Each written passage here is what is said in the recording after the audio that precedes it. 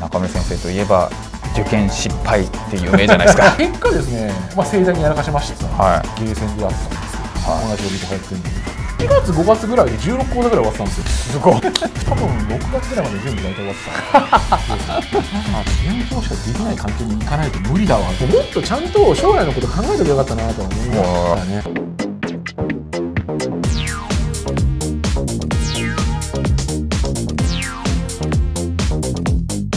さあでは始まりましたもちチャンネル。さあ今回は中村先生においていただきました。はいハローゼア中村先生なんですけども、新年度が始まりましてね、はいはいはい。やはり中村先生といえば受験失敗って有名じゃないですか。そうですね失敗してますね。はい。その辺のことを聞きたいんですけどまず現役時代はどうだったんですか？現役時代はですね、まあ、予備校は行ってたんですよ、はいはい。ただ全然行ってなかったですね。え、そうだったんですね。はい当時ですねちょうどあの日本のワールドカップがあってですね。はいはい2002年そうそうはいはい。まあ試合面白くてですね。ま あ正直ですね僕はもうやっぱり自分が通ってた高校もなんか雰囲気あったと思うんですけど、はいはい。まあ、偏差値60ちょいぐらいの、うんうん。まあ、公立高校だったんですよ、で、まあ、なのでそんなになんか受験受験って空気がなくて、一部の人たちは真面目にやってたんですよ。だけど、意外となんとかなるだろう的な空気。ああはいはい、僕もちょっとなんとかなるだろうと正直思ってて、適当にやってたら全然成績上がらず、はい。本当に勉強したの多分前日とかぐらいじゃない？前日。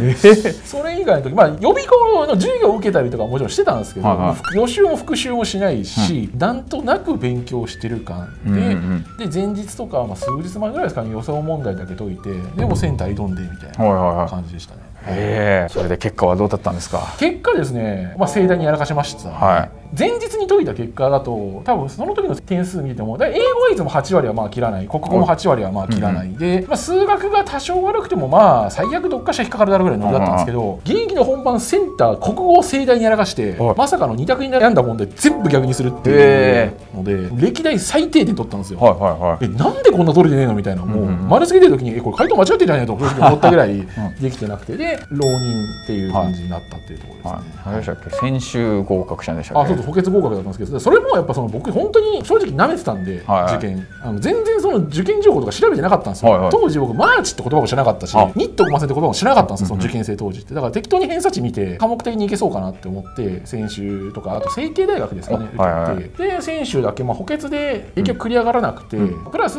まあ、仮に受かったとしても親からもうそこ行くならもう浪人しろと。っていうかお。学費出さねえぞと。そこ行くならもう自分で出せみたいな感じでそれから浪人しろみたいな感じになって、じゃあもう浪人でっていう感じにそうだったんですね。ね東進ははい。続けて入ったんですか、いや、えっと、現役寸大でお茶の水に行ってたんですけど、はい満員電車大っ嫌いなんですよ。有名ですね。はい。でお茶の水を朝から通うのが無理だなって思って、うんじゃあ千葉方面にある予備校通おうと思ってその時に集団授業やっぱ自分ちゃんと真面目に聞かないなって思って、で当時そのやっぱ映像授業っていうのを結構早い段階で取り入れてた、うんうんまあ、東進さん結構いいなと思って、津田沼の東進に行ったって感じですね。はいね。そうです。東進津田沼湖はい。ヨゼミ津田沼湖ですか。あ本当ですか？めっちゃ綺麗なとこですね。そう。ですね駅と反対側なんですよね？そうです。とその予選には。はい。でどうだったんですか？浪人して。浪人の最初はめちゃめちゃやる気あって、はい。東進の授業って当時はなんかビデオをこう予約するんですよね、はいはいはい行った日に。で1次元目から何件目までみたいな感じがあってで予約するとビデオが借りられてそれを見るみたいな感じだったんですけど僕多分1限から6限とかも確かあったと思うんですけど、はい。フルでずっと2か月間ぐらい入れてたんですよ。へえはい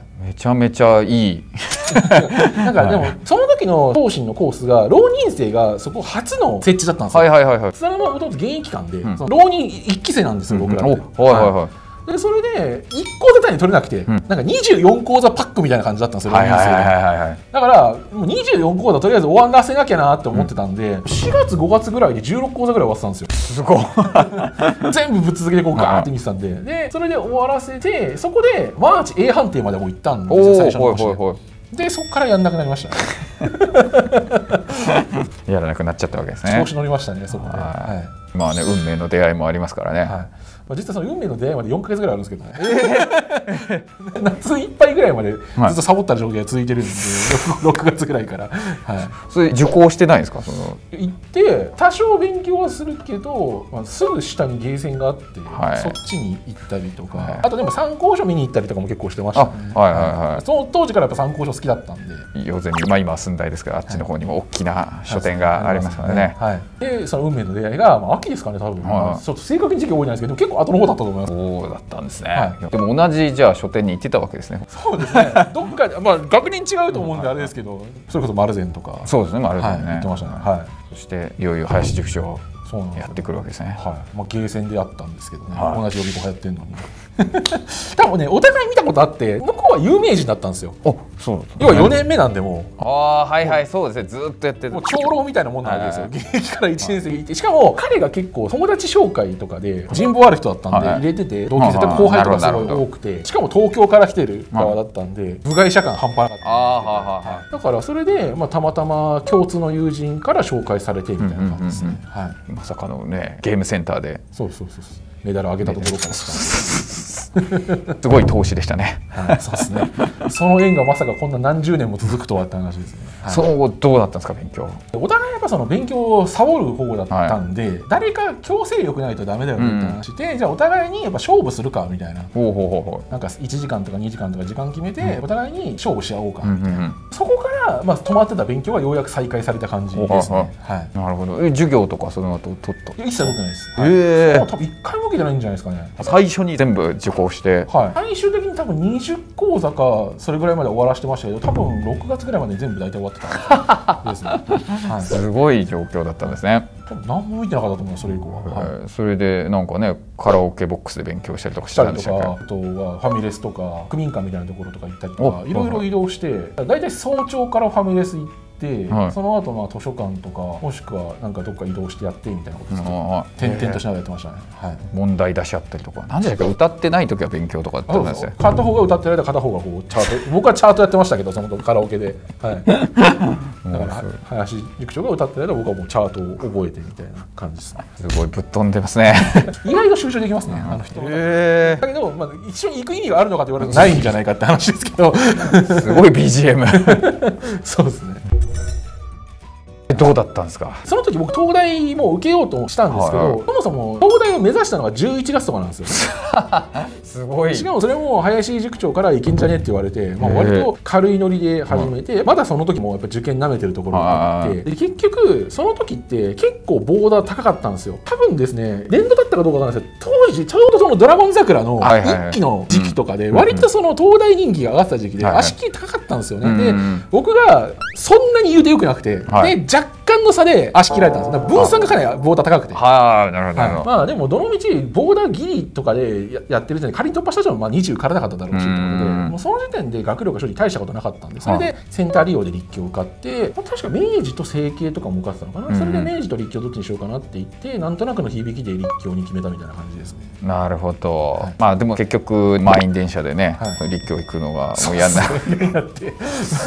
まああとまあ塾業にはまりすぎたっていうのも大きな理由ですけど、はい。どうですか？じゃあ当時の自分にアドバイスする学習相談。来たとして。中森先生が、お前はもう本当に勉強しかできない環境に行かないと無理だわっていう感じですね。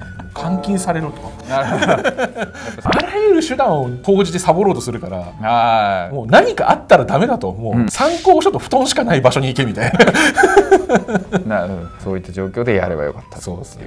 まあ、あとでももっとちゃんと将来のこと考えときゃよかったなとは思いましたねなんで僕そんな頑張んなかったのかなって今冷静に考えてみた時に第一志望とか受かってることを自分の当時に比べてみても、僕は行く資格ないなっていう人間だったなと。は思うんなるほど。それこそ立教も僕場所知らないで受けてますし、はいはいは一般も受けたことないから本当にシラバスもらいに行く時まで場所知らなかったんですよ、はいはい。初めてそこで調べたぐらいの勢いだったんで、やっぱそういう人間が高い金払って大学行くのってマジ無駄だなっていうのは今になって思いなるほど。ますね、うん。あと満員電車嫌いなら千葉にしときゃよかったじゃんっていうね。ねそのボーダーの点数考えたら東大行ったから足切りだったけど別に千葉ボーダーは全然突破できてたはずなんで、はいはいはいはいそこで2時ちゃんとやってれば千葉あるいはどっかの国公立は通ってたんじゃないかって話なるほど、そうですね。中森先生のねもうこれ反面教師にしてって感じですけどね、はい。でも監禁されてたらね林塾長との出会いはなかったですかそうですね。それが正解だったのかどうか受験は成功したかもしれないけど人生は失敗したかもしれないんで、はい。それは分かんないですね。はいぜひ参考にしてもらってですね、やる気を持って皆さんもね、浪人している方はですね浪人生活を送ってもらえばいいんじゃないかなと思います。